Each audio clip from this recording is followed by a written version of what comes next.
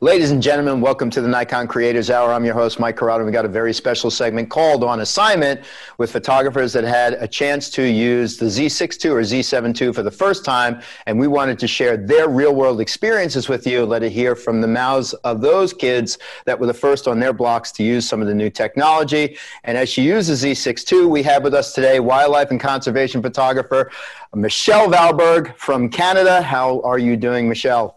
I am awesome. Thank you. How are you doing? I'm doing great. Um, it's just again, it's uh, it's been a crazy world for the last eight nine months or so. Um, but uh, you know, we're starting to move forward a little bit. We're starting to see the world open up again, um, and uh, we're so happy to have you here today because I think it's so important that uh, the viewers who are tuning in have a chance to hear your experiences and not necessarily just mine or anyone else's.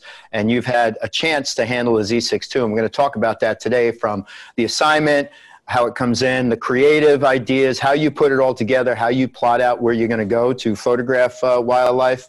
Uh, we'll talk about the lenses that you use and camera settings, all that kind of stuff. I think it's uh, really cool that people get to hear from you. So thank you for giving us your time today.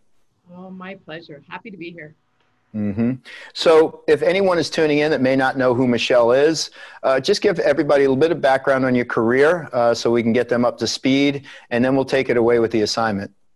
Okay, I have been a professional photographer for over 30 years so hard to imagine even saying that number. Um, I started my career in, in the studio and I still shoot in the studio, but primarily I'm working as a wildlife photographer. I'm a Nikon ambassador for Canada and I'm a Canadian Geographic photographer in residence as well. So I, I am slightly obsessed with the natural world and, uh, and documenting nature and spreading the stories that we all need to hear and enlightening people on the beautiful wildlife um, that we have in this world. So I'm really, really lucky and fortunate to be able to do what I love every day. No, I love that too. And those of you tuning in, just so you know, we've got some Nikon tech sitting on the side waiting for questions. So in the chat box below, if you got any questions about the camera system, the Z6 II, and things that Michelle's saying, write in and our techs will answer the questions uh, as quickly as we can. But this is a it's a really fun experience with you. Uh, but before we get on to your experiences with the Z6 II, talk about your conservation efforts and some of the things you're doing to create awareness about the earth, the environment, and the wildlife that you photograph. Well, I photograph a lot in Canada. I actually travel the world, but my primary focus over the last number of years has been Canada and the amazing species that we have here. And just before uh, picking up the Z6 II for the first time, I was actually on the BC coast with coastal wolves. And, uh, and 16 hours a day, Michael, 16 hours a day, we spent time in a blind. We got up before the sun rose. We were walking the beach. We walked probably eight Ks a day. And uh, we sat in a blind and waited for these majestic, beautiful, very elusive creatures to appear. And uh, it was one of the hardest and most gratifying experiences that I had. And the adrenaline was incredible. And really, it's to is to showcase uh, these animals and the threat to to them in in the world and and how we can help protect them. So I look forward to sharing more of those stories and uh, and a, a little documentary that I made as well. And it's beautiful. And I, am going to brag a little bit about what I have at home is a collection of stamps that uh, have your wildlife photos on them uh, in, in one big uh, sheet. And I have it framed at home, and I'm so thankful to have that. So thank you for sharing that with me. But you've done a lot of work, and, and, and people check out Michelle Valberg. Just Google Michelle Valberg, look at the Instagram page, look at her social sites, and there's a lot of great stuff that you've done through the years. So we're thankful for you uh, for that. Now, you have been using mirrorless up to this point. It's no secret that you're a big part of the Z7, Z6 launch uh, when we did that uh, a while back. Uh, so you have experience with mirrorless. Is that all you're using? And what's your prime body right now uh, before the Z6 II, Z6 or Z7? Both, actually. I have three cameras that I typically shoot with on location. And when I went down to New York and uh, the Z7 was revealed, I was so excited about the opportunities. And quite honestly, Mike, I have touched my D850 once since and I picked it up and I put it back down. Like I have gone full on, full in with mirrorless since that time. Part of it was probably because of the of the shift in the in your mind and and how you work, you know, and and you, I remember the first time I picked up the D850 and I was photographing dolphins. We were in a cruise in South America and and I was shooting thinking I was uh, shooting my exposure that, you know, I was thinking that I was shooting the EVF, you know, and I was like four stops underexposed when I looked at it. So I went all in. I just said, that's it. This is the future. This is where I want to be. This is what I want to really be proficient at and really get to know this camera because there's so many options. And I think it's made me a better photographer for sure.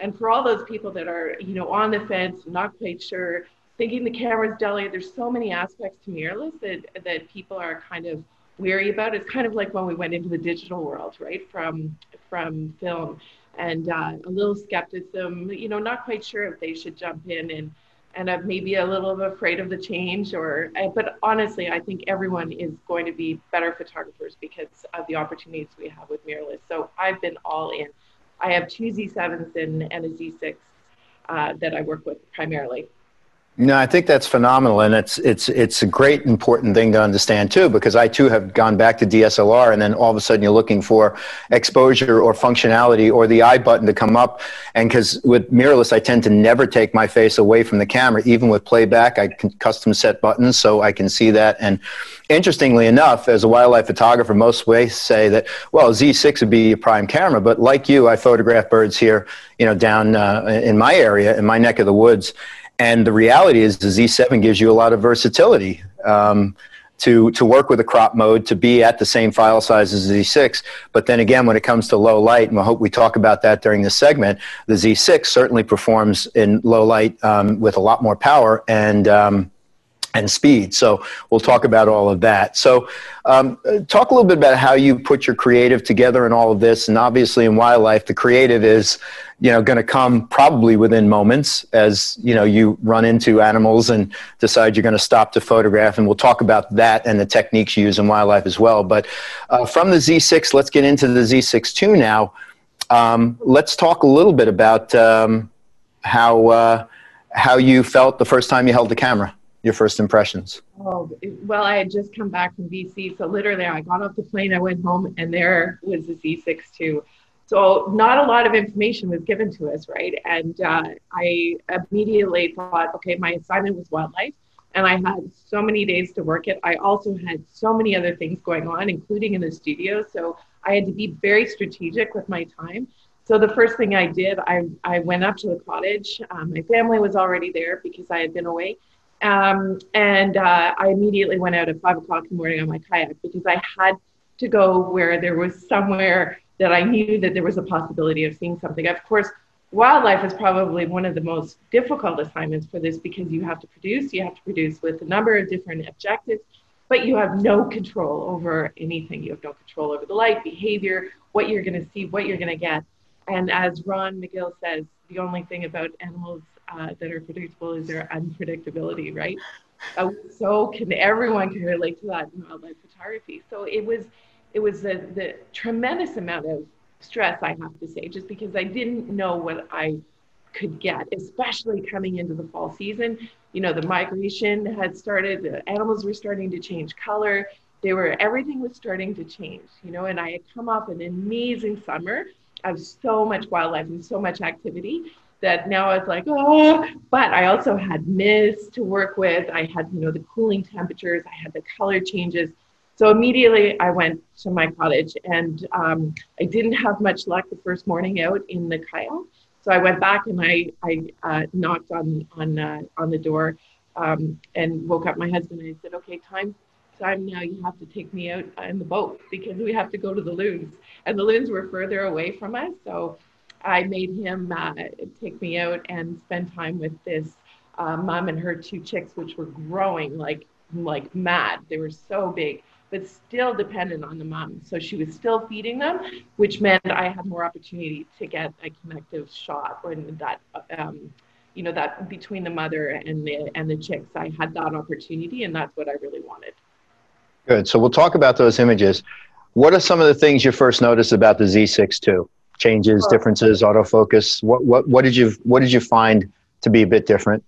Uh, uh, first of all, it was the 14 frames a second.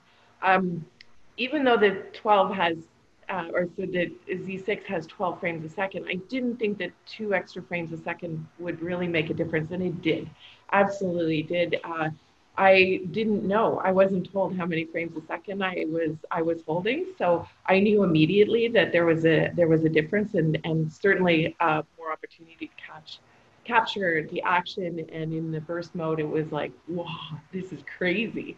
Um, and the focus system, and uh, immediately I saw that there was new animal eye detect, um, and I didn't know how uh, it was going to work with the birds.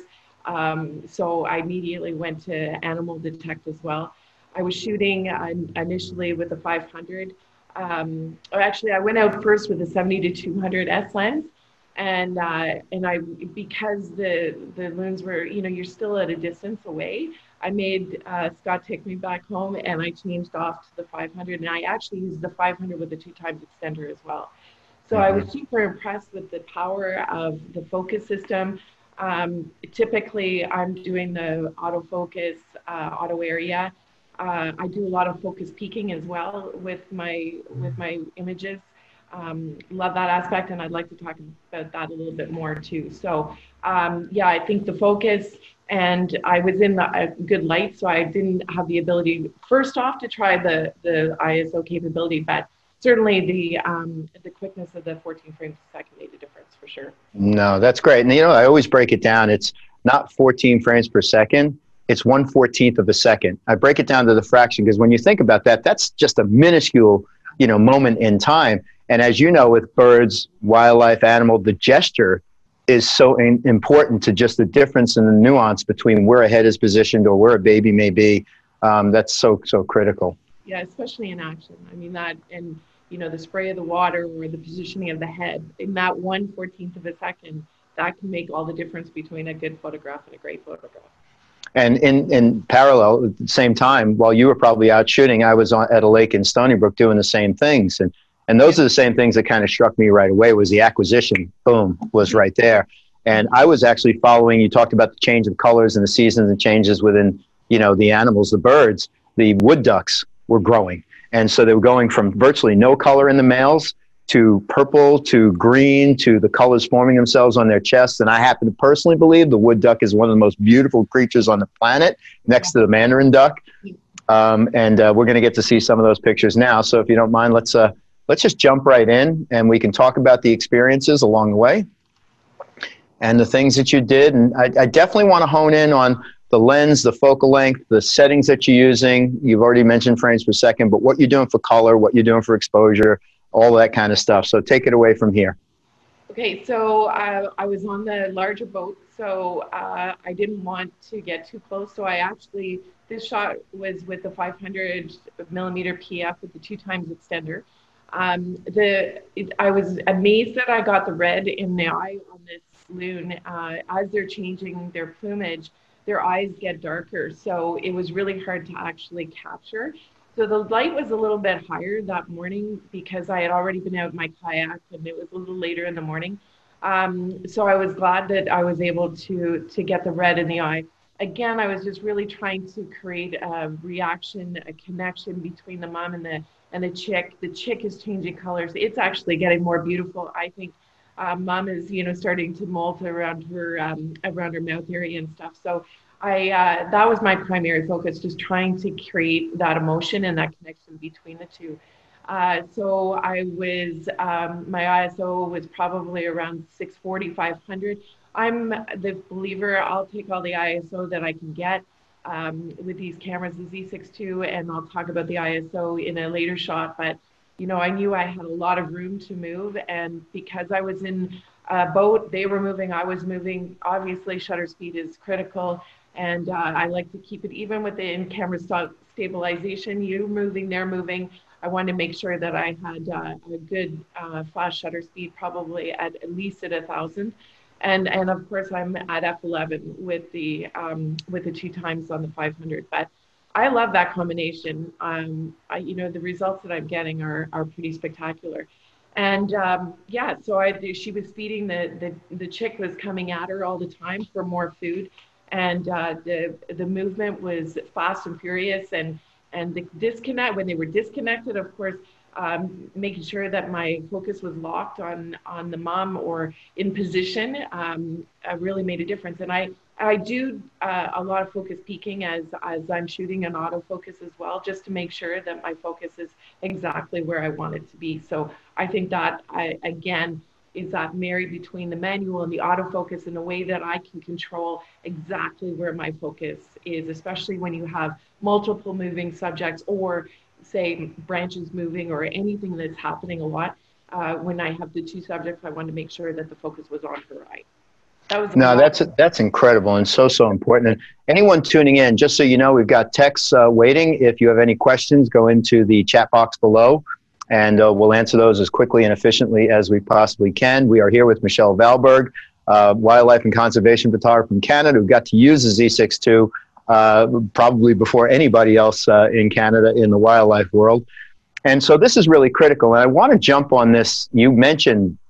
Um, you know your focus techniques and using manual focus and using the stripes that light up within the camera um, i think that's so critical. And i found that when i'm photographing birds in brush i'm always grabbing the manual ring and using that kind of assist system to, to just target you know the subject to get the best possible focus and sharpness. But uh, that talk about that just a little bit more about that that technique that you're using okay so I was a manual shooter, like manual everything, manual focus for the longest time.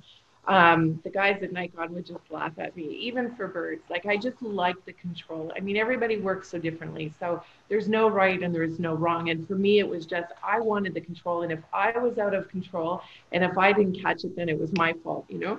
And then when the Z7 uh, launch came out, then I really had to learn the, the autofocus and trust it and, and work with it a lot more. There were some times I obviously went to autofocus, but primarily it was my choice to always stay manual. So the focus peaking is actually, you know, you take acquisition on autofocus and then um, with the focus peaking, you can have different colors. So red, white, and green, I believe. I only use the red primarily and white if it's in darker situations, but um, is it green or black? Uh, uh, you know, you got me, and I think it's. I, I know it's definitely red and um, and green, but yeah, I, I, uh, use I use the red most of the time.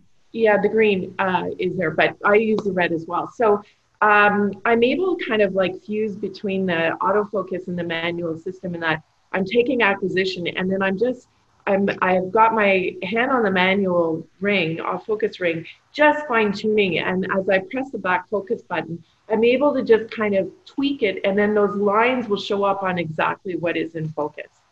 Mm-hmm. Obviously, with moving subjects, it's not always the easiest, but say you're photographing a bear and you've got you know the eyes and nose and then the bear moves a little bit or you move a little bit and then the focus goes to the nose eyes are out of focus it ruins it ruins the shot and it's mm-hmm. just fine right fine tuned especially at five six or even if you're shooting at 2.8 whatever it is if you know, if you're if you've got a really really shallow depth of field, it can make all the difference. So this just kind of gives me the control back that I can just say, hey, listen, I'm just gonna just make sure that that eye is critical and in focus and stays in focus.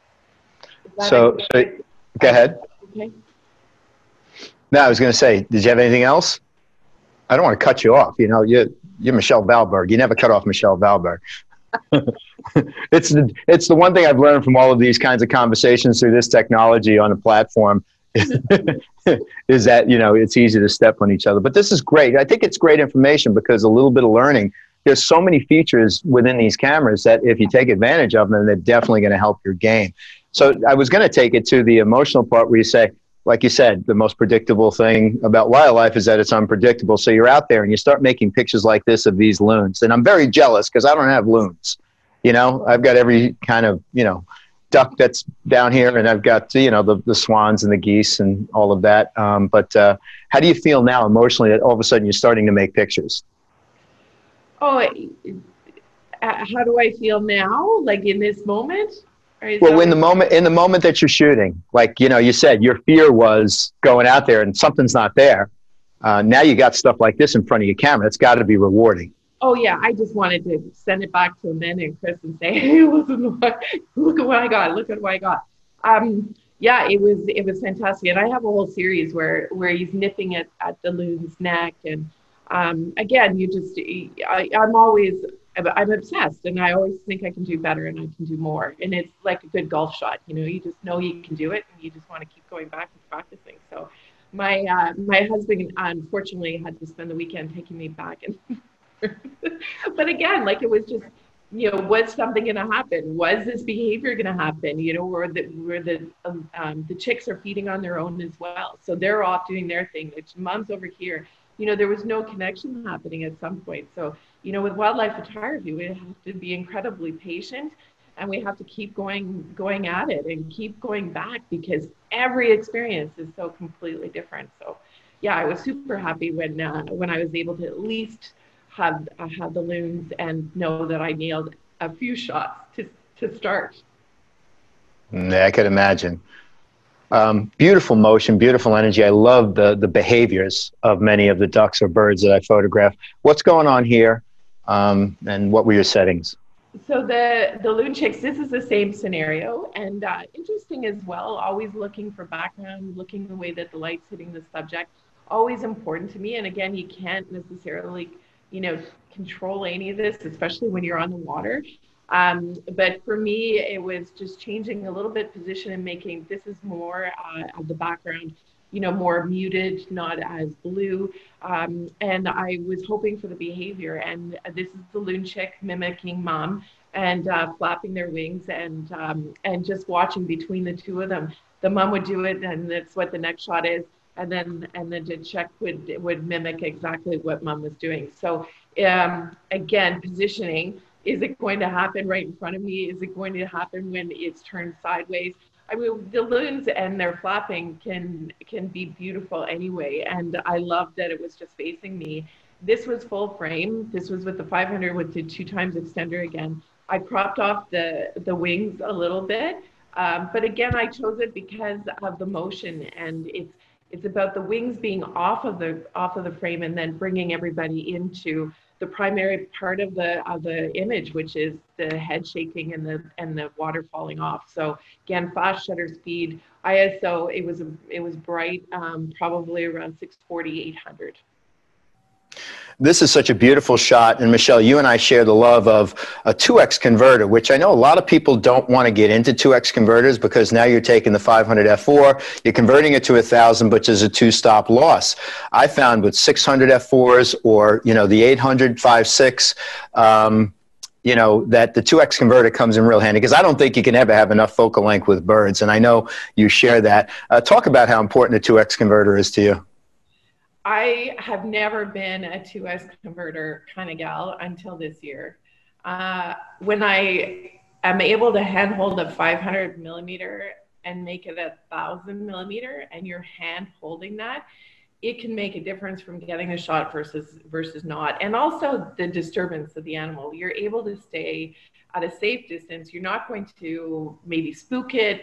You're able to spend more time with the animal as well the clarity it I I find even at f11 obviously you need the the right light source um, but at the same time an image coming up I'll explain. I didn't have chance to uh, change my um, my lens and I was with the Z6 II and at f11 and um, and I was able to capture it. I actually adore shooting with this 500 millimeter with the two times extender. That is my go-to but I'm also using it on the 800 two times, which was critical for when I was with the Wolves as well. Because again, they're very elusive, they're at a distance, and I really wanted and needed the reach. And you know, the focus system, everything is working, and the the it's hard to believe the clarity that you're getting with the two times extender. I was always against them. Now I'm telling everybody. Mm-hmm look, I'm hand holding a thousand millimeters, and okay, this is the result. I mean, I have I have the images to share. This is with a 500 millimeter PF with two times extender.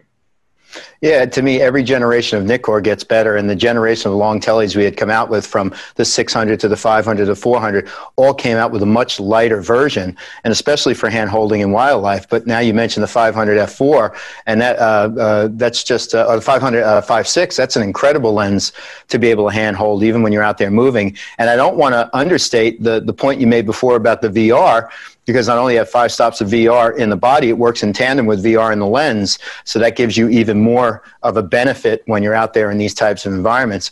And I love this behavior. And now I don't have loons by me. I've got mallards and other, you know, forms of ducks and, and wood ducks, but the behavior is I found that when you see their heads dive under a couple of times, right? Boom. And they wet their backs. Boom. They wet their backs. Then all of a sudden you wait, just wait. And then the wings start to go and the kick goes. And because there's new fresh water on their backs, boom, the water starts to fly. Is that what's happening with the loons as well? Yep, absolutely. Same, same. And, and again, having that 14 frames being able to capture, um, you know, from the start to the finish of, of this behavior, it was it was fantastic. The positioning of the head is so critical as well.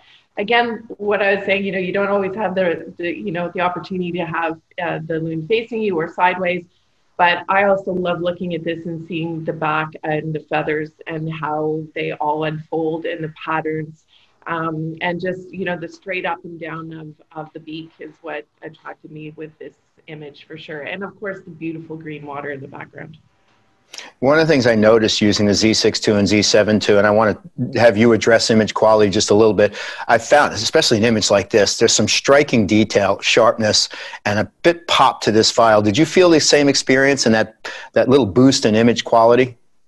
Yes, absolutely. Yeah, there was just the dynamic range seemed to even be better um, yeah, everything uh, looking through the viewfinder. The and and speaking of the viewfinder as well, and that improvement, it's just it's it's almost 3D-ish. You're looking and you're seeing it's so crisp and so vibrant. It's uh, fantastic.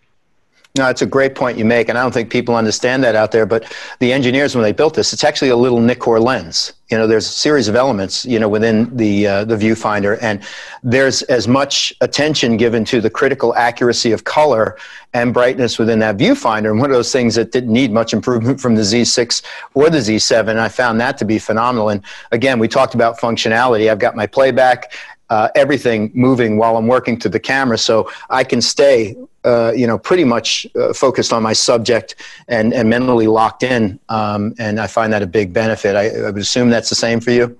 Yeah, you're absolutely way more time on the camera, and you're not mm-hmm. looking, you're not chimping. You can do a fast review.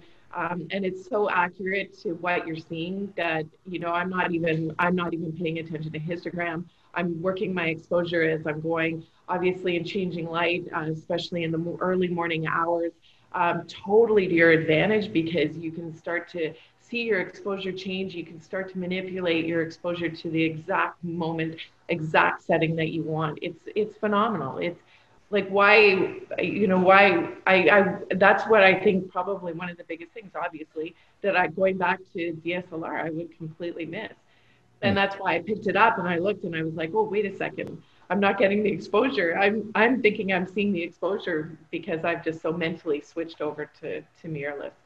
Yeah, no, it's beautiful, beautiful picture. I love working with you and, and talking to you about your images because they hit so close to home for me. Um, moose out in the field. What's happening here? So I was like, okay, gotta gotta get out of the birds on the lake and go to somewhere I know that have moose, and it's a park close to me. It's only about two and a half hours. It's called Algonquin Park.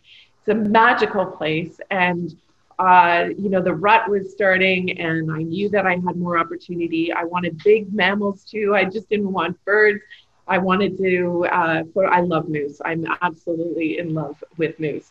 So this, um, I was actually with Jacob from Nikon Canada. He was doing some filming with me, and we were driving down the road. It was early morning, and I had had my 500 with two times on from the night before. Uh, we were photographing birds, and I hadn't changed it. And uh, I really didn't think I needed to because most often you're at a distance. So I thought, well, you know what, I'll just leave it um, as is, and I'll really test the low light if anything happens. Where you know I'm at f11, it's early morning. Let's let's take this for the ride. This is the time to test the low light and the ISO capabilities. So we're driving down and Jacob sees the legs in the bush and uh, he's like, moose. So we pull over and uh, jump out of the car. And, you know, obviously you don't want to spook, you don't want to get close, you don't want to approach these animals. Staying close to the car, I had the I had the one. I was really happy. I had the 1,000 until she moved uh, closer to the to the road to check us out, and uh, she was so beautiful. And it was our first experience that morning. And I just went with it. I had the 500 two times on. I had really low light. So, Mike, I never ever this is what blows me away about mirrorless. I was at 4,000 ISO. I could have crept up to 5,000 or 6,400, but I really wanted to stay around the uh, around the 4,000 because I also wanted to test uh, how crisp I can get with, uh, or I can get with the uh, shutter speed. One sixtieth of a second. I'm hand holding a thousand. You're kidding. No, a thousand, a thousand millimeters. I'm hand holding 4,000 ISO at one one sixtieth at f11. Like what? That That's amazing? insane. Now, did you break away from auto auto area AF and use a more targeted focus uh, for the eyes here? And let me let me mention this real quick. Within the new system, not only do you have uh, uh, IAF for humans, you have now it's built in to have IAF for animals, so it works in both video and still. Now, humans and cats and dogs are profiled, not typically the wildlife. I know you mentioned before there was a bird you ran into that actually profiled that bird. It saw that bird's eyes. Not typical for moose or anything like that. So, what focus mode did you use here? I was again, I was set up for the night before, but I really needed to use the focus peaking because of the branches and because mm-hmm. of low light. I wanted to make sure that I was focused on on the eye and the eyelash. I knew how critical it was. Um, so I was in the auto area, autofocus, and just you know using that focus peaking again, it saved me. I think if I was just lightly off off of the nose, or if I had a, a branch that was coming in front, it would have had a hard time finding what it was. It was low light. It still focused really well in low light. That was the other aspect that I found. Uh, the focusing um, in low light situations with the Z6 was it was also absolutely fantastic. So this one I definitely needed to override and just make sure that I was uh, I was spot on with the. Uh, with yeah, the no. But oh my god, it was so beautiful. And then it was done. And I, you know what, I I could have, Mike, I could have changed I had the 70 to 200 right right there in my car. Um, but I just went, no, I'm going to stay. I'm going to stay with this and uh, and capture something. And sure enough, she went across the road. There was a huge truck, and then she was she was gone. Like it was just over in an instant. And we all know how quick things happen in wildlife. So I was really glad. Mm, this is amazing. And those of you tuning in, um, just in case uh, you are just tuning in, uh, look at the chat box below if you have any questions about what's going on. Like, what are the three colors for the camera? Since the Nikon guy couldn't answer that question when it comes to focus peaking, uh, ask questions. We're running out of time to have you chime in with questions, but we do have techs uh, waiting on the side uh, to answer these questions quickly and efficiently. Uh, this is beautiful. I, I again, I'm listen. This is not an act. I'm kind of speechless. One sixtieth of a second at a thousand millimeters millimeters at 4,000 ISO. Um, really a great testament to, to the VR within the system. Um, but we keep moving down the road. Is this uh, later in the day? What's going on here? Uh, so this is later in the day. We were giving up. Um, we had searched everywhere all day, all day looking for the moose, and then we ended up uh, coming across down a path um, a cow with a big, huge moose. A, a bull behind her. Um, it's rut. Uh, so he was he was paying attention to this female. She ended up going into the bush. He ended up leaving. We followed and then came out uh, on the other side and saw that he was there with this younger bull. Um, no confrontation, but man, that big bull moose was saying, "Don't even think about her. She's mine." Um, they had already, you know, got uh, the the tree limbs caught in their in their um, antlers. And uh, anyway, we had a little bit of time. Jacob was with me on this as well. And uh, just super cool to be able to be uh, in close encounter um, safely, of course, uh, with with these two bull, and just to just to be able to capture this. And I was like, okay, now I nailed my moves. Okay, good. mm-hmm. And, and it, it's amazing, and it shouldn't go understated that the safety factor here, the protective nature of a parent over a child in the wildlife, that moose will rush you to get you out of an area. Um, I've seen videos like crazy. Um, so the safety that you mentioned is so so critical, right? Yeah, and and it was rut season, so that male was like not having anything to do with us having anything to do with that female. So um, mm-hmm. yeah, absolutely critical. Always, always important to stay your distance and to not put yourself in jeopardy or uh, the animal in jeopardy as well. So very, very important. So important. Oh, that, that was taken. Sorry, with the 70 to 200 with the two times extender for the S. Which which one? This one or the next one? That this one and the next one. Where I oh, so this so now this is which combo? That's the uh, six two with the 70 to 200 with the two times extender, the new S lens. No, that's beautiful. I, in fact, I use that combination a lot. I think, um, you know, with the Z6 II, especially in the low light that you started off with where you need it, that's where the Z6 excels. And like you said, the 14 frames a second. But a lot of times I play on the Z7 II now with the crop factor to you know create a file about the size of a Z6 uh, 2 or Z6 and and have that extra distance. So it's almost like there's a crop factor built in where you're retaining quality at a great quality file. But that's that's good to know. So this is as well as with that 7200 and the 2X.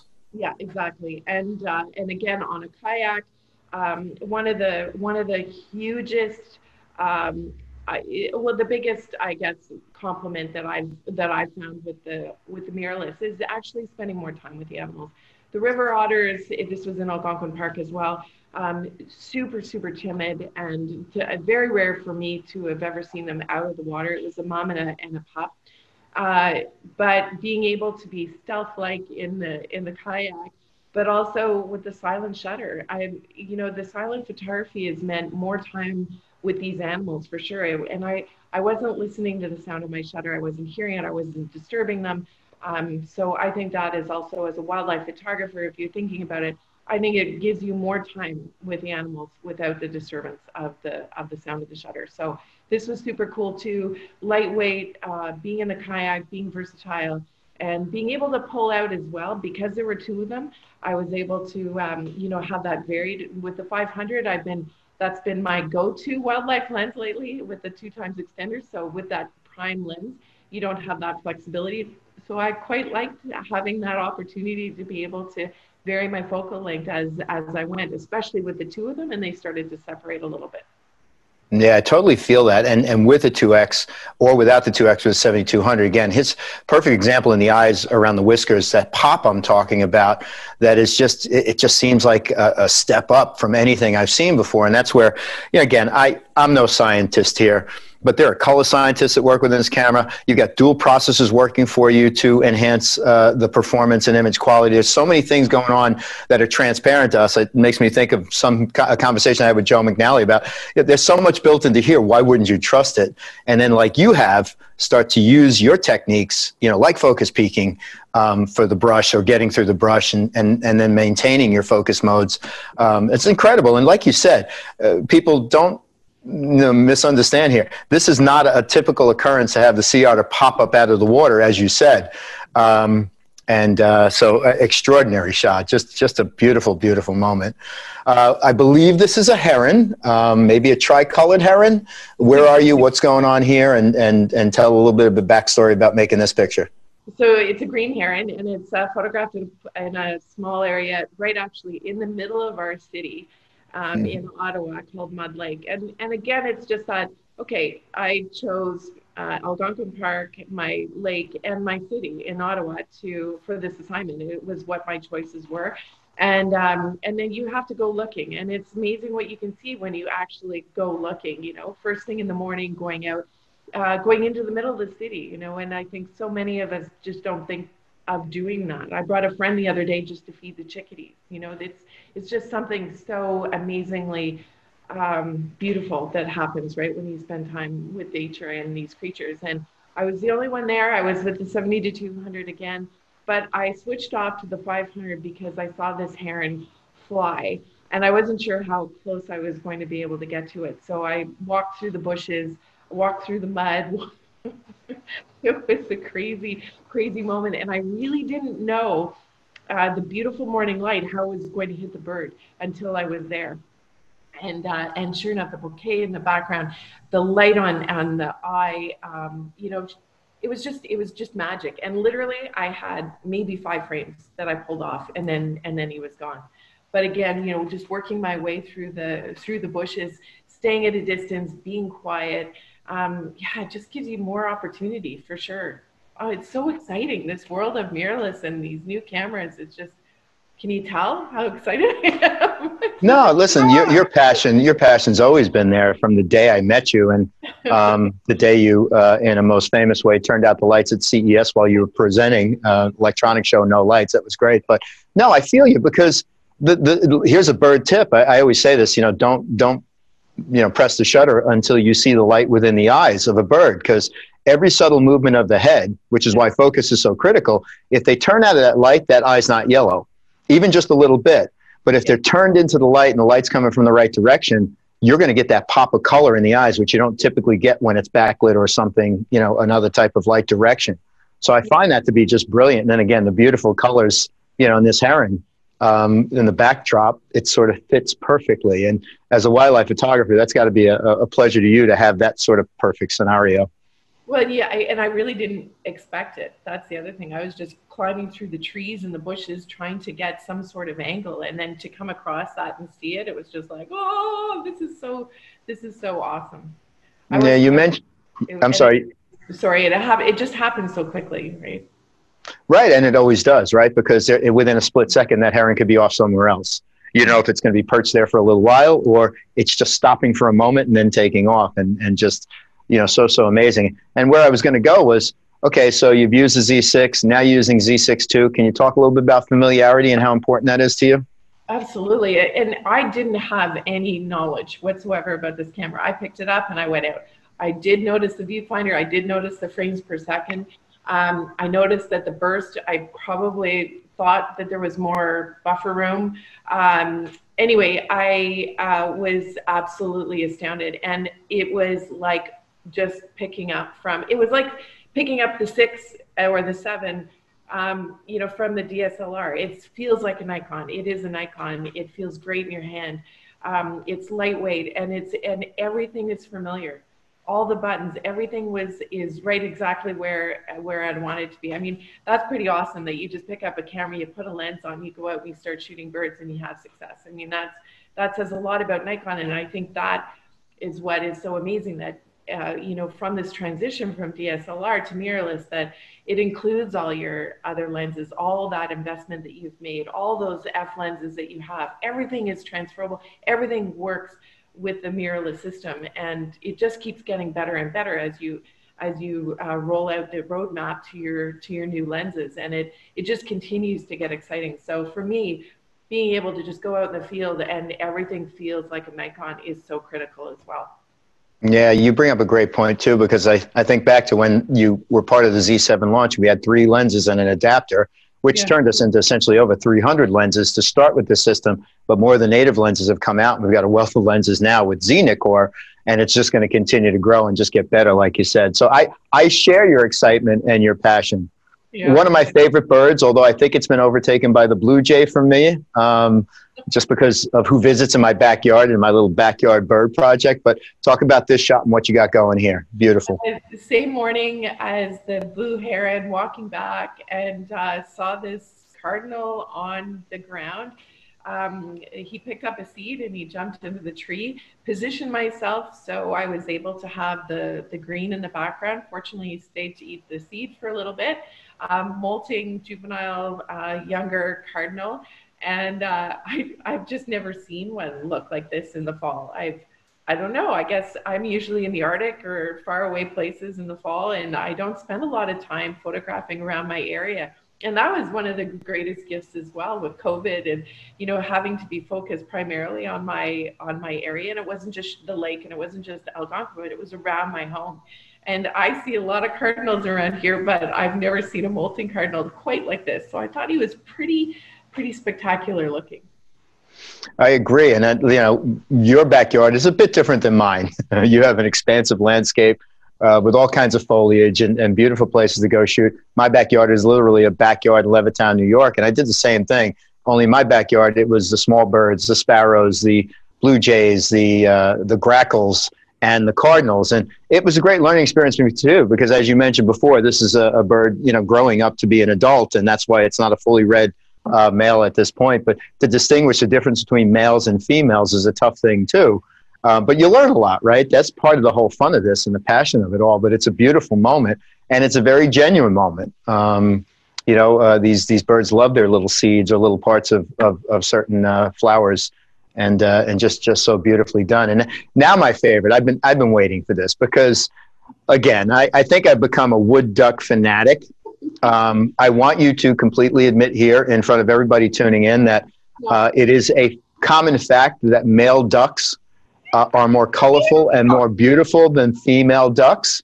Um, score one for the males uh, in this regard because um, it's not usually the way.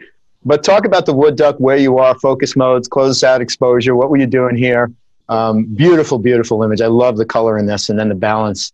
You know, the, the, to me, the eye of the wood duck, woo, always kind of the cool thing too. Oh, totally. What's happening? Yeah, how is it possible that a male wood duck can be so beautiful? Seriously, how did the how did the females get so gypped out of this color? It's it's hard to even believe that they could have this kind of coloring. And I am obsessed with wood ducks as well. And I think if you've seen one, um, they're pretty spectacular, and you'll become one as well if you haven't seen one before. And I have been posting others as well on my on my Instagram. Um, but yeah, so I saw this wood duck, and there there wasn't a whole lot going on. It was early morning; they were kind of docile. Again, I'm on assignment. I wanted the color of the fall leaves in the water. That was primary.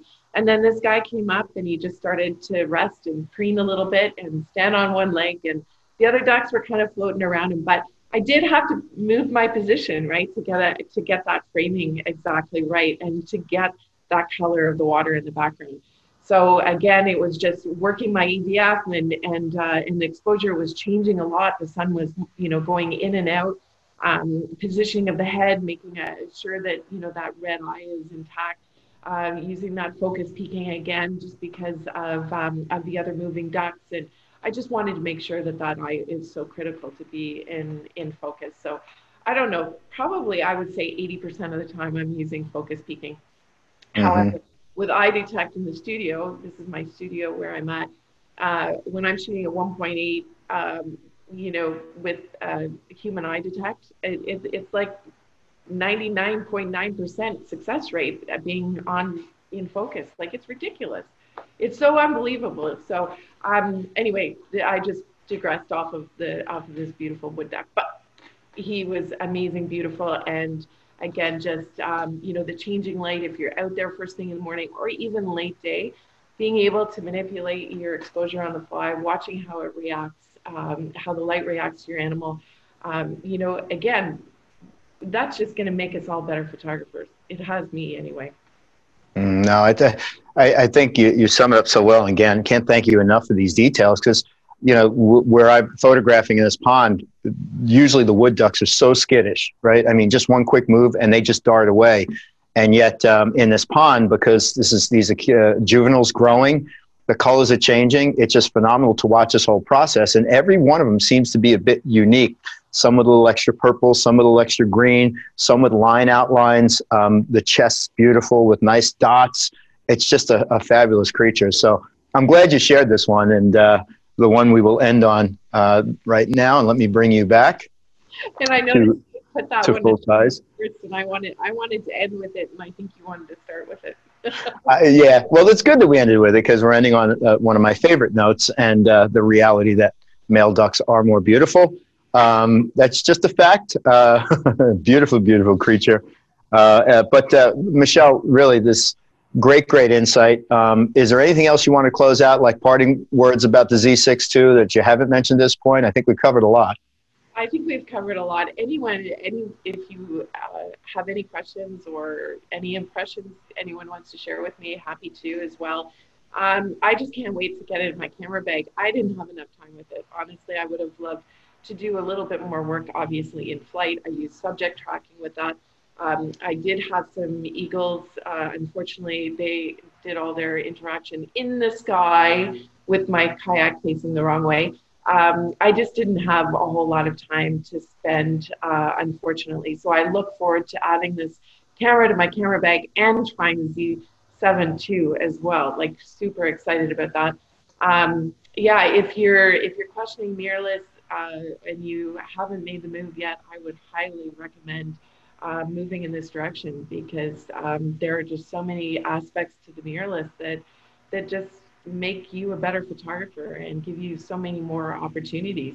I mean, the DSLR system is is fantastic. Don't get me wrong, but you know when when we just keep seeing all these lenses roll out and these opportunities, like even having that two times extender with the 70 to 200, huge, like zero problems in focus, fast acquisition, amazing detail. Um, it just it blows my mind. I just keep continuing to be blown out of the out of the out of the sky, out of the water with with all this opportunity, and and it just is ignited as I think you can see in my passion. You know, it just gives us so much more opportunity, and and you don't, you know, there's one last thing. I know you knew that I would probably have something else, but you said that you know where you live, your backyard is is all these, you know, from crows to blue jays to grackles.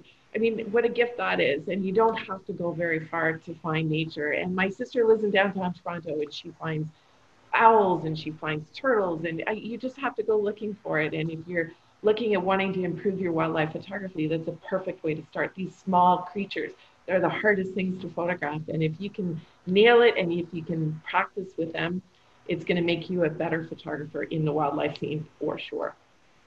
That is those are words to live by because Again, if you're looking to de-stress, photographing small birds is not the way to do that, but you're right. Your skill set jumps up because they're so unpredictable, they're so quick, they're so small, within inches, four inches to seven inches long, and to really be able to focus on them and, and capture them in a moment is very difficult. But those are great words to, to end with.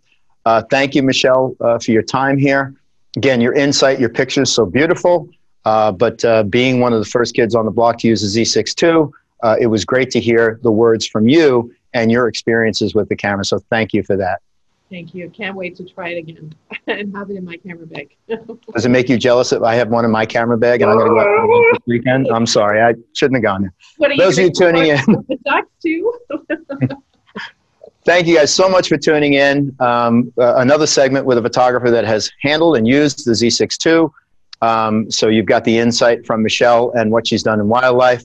We have more segments, so check out NikonUSA.com uh, and the Creators Hour to see other interviews with photographers who use the Z6 II and Z7 II as we progress into the next generation of Z. Thank you guys for tuning in. For Mike Corrado, uh, for Nikon, I'm Mike Corrado. Uh, and please get out there, shoot pictures. We'd love to see them all. Everybody be safe.